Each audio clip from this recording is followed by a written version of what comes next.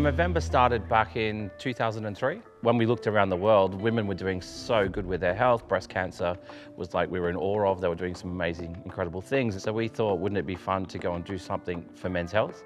Um, and what more fun than do it irreverently with growing a moustache for 30 days, um, as men can do. This is before any kind of ironic hipster movement. There's no, you know, London coolness about a moustache. Like nobody's got a moustache under the age of 60 in 2003. So we kind of forced guys in a fun way, so it was about having fun doing good, to actually challenge themselves and start opening up. And it was a massive icebreaker to talk about health because guys don't like to have one-on-one -on -one conversations. They'll absolutely have a shoulder-to-shoulder -shoulder conversation back in the day. And now with the global movement we are, we really challenge guys in social settings to go and have a beer together um, or go to a sporting event and really start to open up and encourage them to, you know, ask the questions. If you think something's not okay with your mate, then absolutely ask him.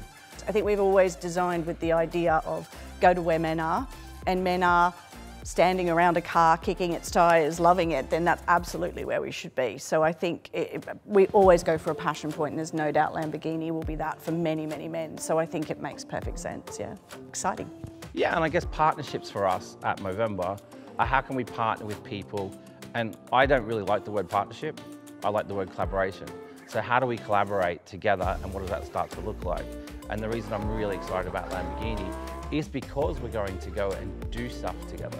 We're not just swapping logos and putting them on stuff and going, hey, aren't we doing good in the world? We're actually activating the amazing humans in your network and the ones in ours to get together and start to have these honest conversations. So for me, this partnership will save lives, as I said before, because what we're, what we're going to do together, the doing part is what's exciting.